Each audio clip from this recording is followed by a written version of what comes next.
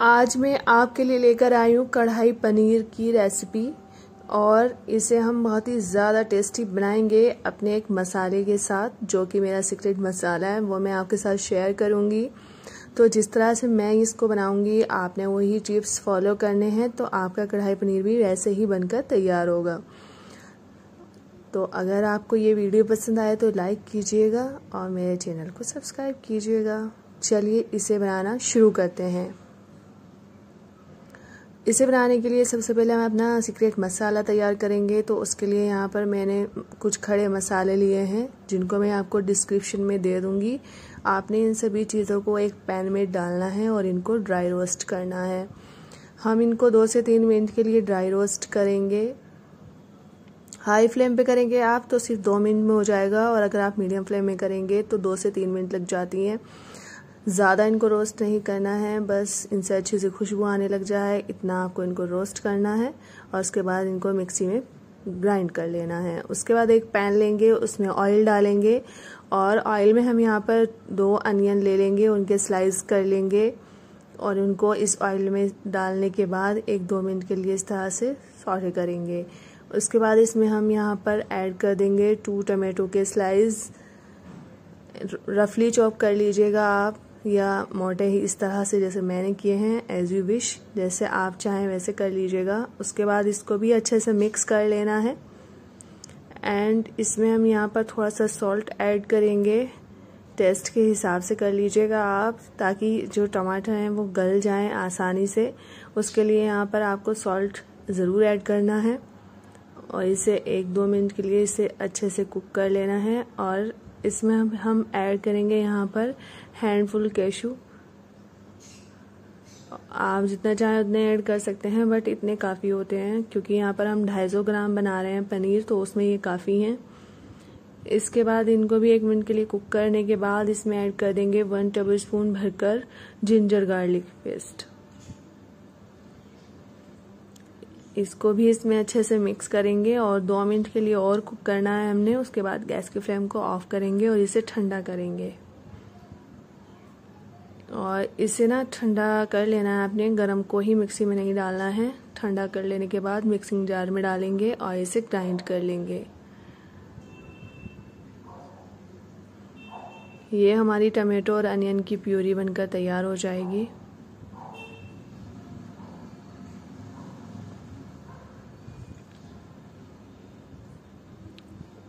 ये देखिए, इस तरह से आपने ये प्यूरी बनाकर तैयार कर लेनी है। उसके बाद एक कढ़ाई में ऑयल डालना है। और यहाँ पर हम इसमें ऐड कर देंगे ऑयल के गर्म होने के बाद पनीर, और इसको हमने क्यूब्स में काट लिया है। सारा पनीर हम यहाँ पर ऐड करेंगे और उसे गोल्डन ब्राउन कर लेंगे। तीन से चार मिनट लग जाती है इसे गोल्डन गोल्डन ब्राउन करने में। आप चाहें तो आप ये वाला प्रोसेस ना इसकी भी कर सकते हैं। आप पनीर को बिना गोल्डन फ्राई किए भी इसमें ऐड कर सकते हैं। ये आपके ऊपर है बिल्कुल ऑप्शनल है ये। आप चाहें तो करिए, नहीं आपको करना है तो मत कीजिए। अब इसे हम निकाल लेंगे क्योंकि ये गोल्डन ब्राउन हो चुका है और इसमें जो ऑयल बचा है, इसमें हम यहाँ पर डालेंगे वन अनियन और इस तरह से आपको उसे कट कर लेना है। इसे हल्का सा सोटे करेंगे। इसके बाद इसमें ऐड कर देंगे यहाँ पर हम वन कैप्सिकम। उसको भी हमने इसी तरह से क्यूब्स में कट कर लिया है। इसे भी एक मिनट के लिए सोटे करेंगे एंड इसमें ऐड करेंगे यहाँ पर cumin seeds. One tablespoon या टी स्पून आप इसमें ऐड कर लीजिए। जितना आपको अच्छा लगता हो उतना ऐड कर लीजिएगा। मैंने वन टीस्पून इसमें ऐड किया है।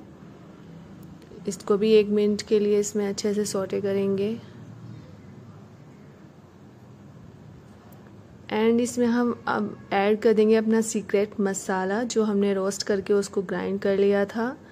यहाँ पर वो सारा मसाला हम इसमें ऐड कर देंगे और मिक्स कर देंगे।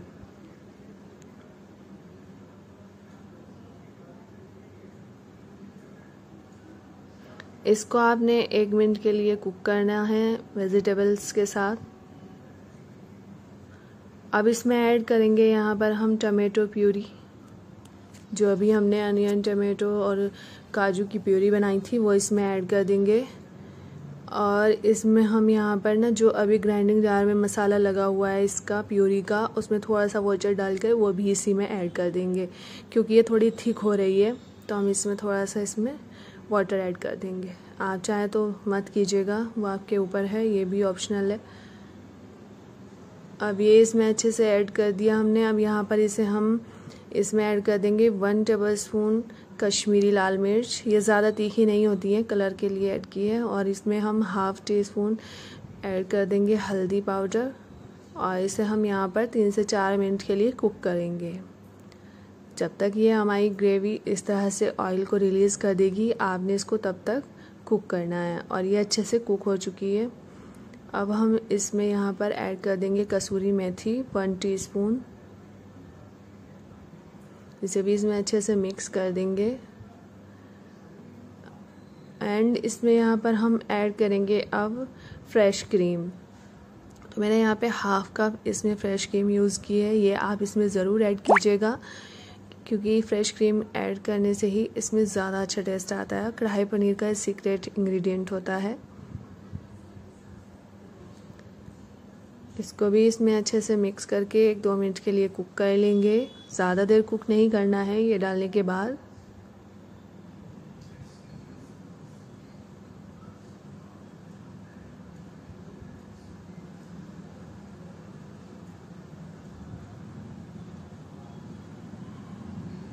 और अब इसमें हम अपना पनीर ऐड कर देंगे जो हमने फ्राई करके रखा हुआ है।